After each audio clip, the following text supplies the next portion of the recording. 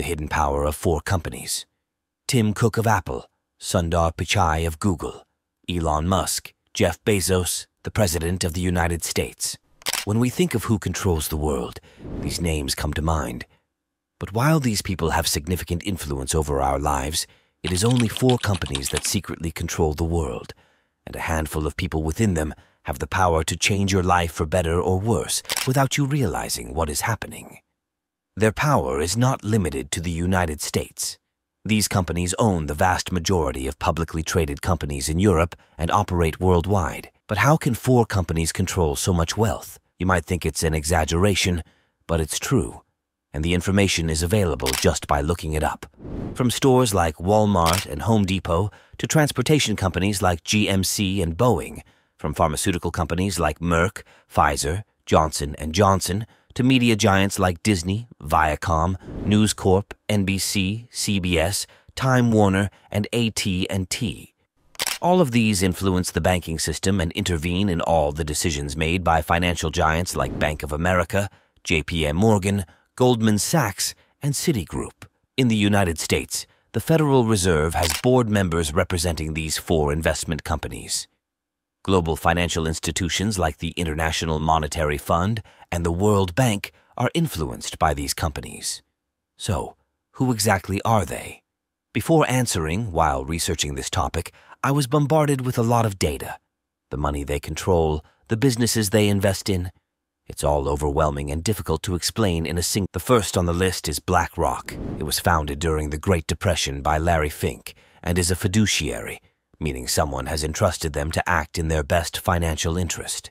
BlackRock mainly does this through investment funds, a set of assets that invest in stocks, bonds, and other securities. It has 70 offices in 30 countries and holds $10 trillion in assets. Today, the company is worth 20 trillion, which is half of the annual gross domestic product of the United States.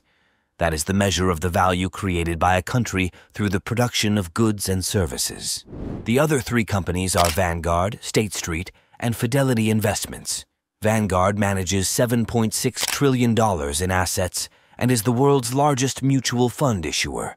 At the end of the year, it had 203 U.S. funds and 227 international ones, serving its 50 million investors. The founder of Vanguard, John Bogle, created an index fund in 1976 known as the Vanguard 500 Index Fund. This is a particular type of fund managed passively.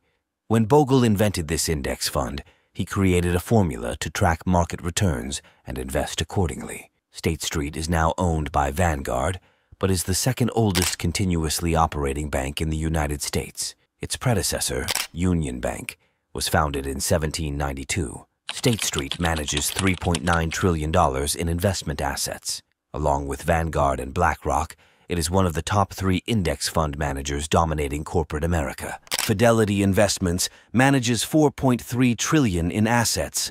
It was founded by Edward Johnson in 1946 and has remained a family business ever since. Fidelity was the first major U.S. financial firm to market global mutual funds through mail and door-to-door -door sales. Before that, the very idea of investing was exclusive to millionaires. But the success of these companies was not just innovation. Let's start with what these companies say they do. Each helps ordinary people like you and me invest their money.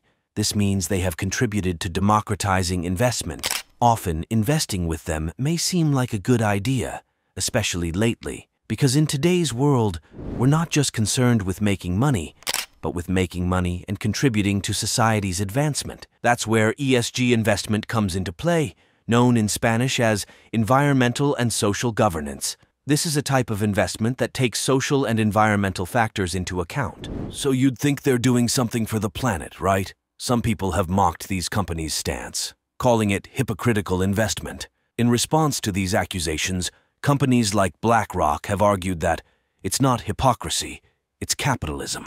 In their view, climate change poses a risk, so investing in companies that foster the effects of climate change is also a risk. On the other hand, investing in companies that try to mitigate that risk is good business. To give them all the credit, they have put their money where their mouth is. In the year of its creation, Vanguard, BlackRock, and State Street managed to shake up ExxonMobil's board by installing new members who promised to tackle climate change. BlackRock allowed the state of Virginia, a major coal producer, to withdraw from the investment firm due to its commitment to investing in zero-emission companies. But when you pull back the curtain, it's not as healthy as it seems, because these companies are masters of deceit. Vanguard praises investment in green companies while holding $86 billion in coal companies, making it the world's largest investor in this sector.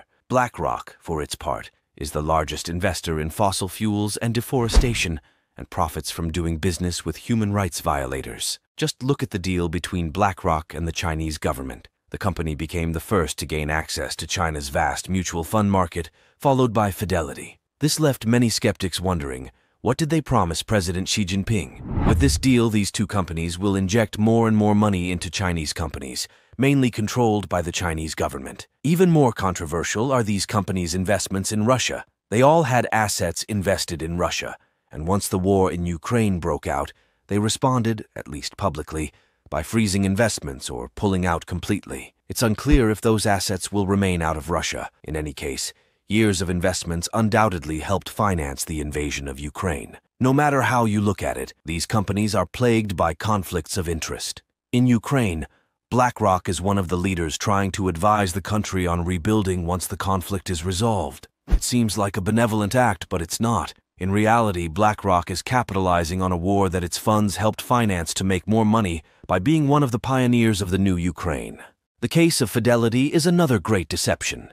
The Johnson family, which founded and runs Fidelity, also runs a venture capital arm that competes with Fidelity's investments, meaning the family benefits while Fidelity investors lose out. For example, since Fidelity's creation, F Capital, the family's venture capital arm, invested $11 million in Ultragenyx Pharmaceutical Inc. before it went public. This investment prevented Fidelity funds from making the same move, because if they had, they would have violated U.S. laws. Thus, the family-owned fund got the best stock price, while public funds that invested in the company at a higher price were disadvantaged. In essence, these companies tell one version of their business to the world, but the reality is much more complex and problematic. None of their successes would have been possible without the various patented technologies they developed in their investment strategies. The best example is BlackRock's Aladdin, which introduced the trend of using technology to minimize investment risk. It manages $20 trillion in assets and predicts the outcome of each investment. At the same time, it obtains and sells the personal data of everyone who, knowingly or unknowingly, entrusts their money to BlackRock. This technology and others like it have helped reduce investment management costs and improve returns. This way, BlackRock and other giants have the advantage. They apply their strategy across the company, allowing a few investors to diversify their portfolios and multiply their gains a thousandfold. Technologies like this democratize investment, allowing anyone, regardless of wealth, to invest. That's why over 80% of all assets invested in the last decade have gone to these four companies. If these companies continue revolutionizing with their technologies and controlling more and more investor assets, we risk a concentration of ownership. If these four giants continue increasing their influence over large companies in all sectors, competition will only decrease. They will compete with themselves, which is not competing at all. This leads to fewer choices for consumers and higher prices, a situation we are already experiencing with the airline industry. In the past 14 years, airfares have increased by up to 7% because there are fewer competitors. BlackRock and Vanguard are among the top five shareholders of the three largest operators. But it's not just about the companies. It's about the people who run them, those who make the decisions, pull the strings, and wield power you can't even fathom. Larry Fink, founder, chairman, and CEO of BlackRock, is one of them. He started at a New York investment bank, where he rose to lead the firm's bond department. His career nearly ended after losing $100 million following an incorrect interest rate prediction. This led him to focus on risk management investment, and thus BlackRock was born. He founded the firm and grew it from 5 to 8 billion in just five years. Abigail Johnson, CEO of Fidelity Investments, didn't build the company she runs from scratch, but she is the granddaughter of Fidelity's second founder, Edward Johnson. She started as an analyst and portfolio manager before being promoted in the early 2000s. Like an episode of Succession, Johnson unsuccessfully tried to oust her father as CEO. However, her time soon came as she was named CEO in 2014.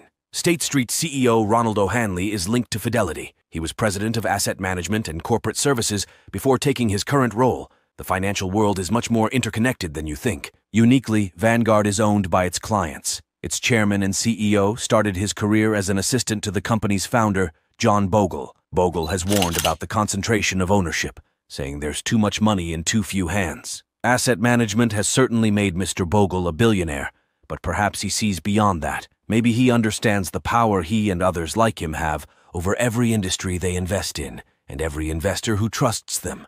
Or maybe he's sending a warning to the rest of the world, but it's likely there's nothing we can do about it. Because these four companies control the planet. A global financial system meant to empower individual investors has given power to a select few. So, while we get distracted by celebrity faces on magazine covers and mass, generic social media posts, these business leaders are behind the scenes, pulling the levers and secretly deciding the financial future of our world, whether we like it or not. The worst of them all is BlackRock.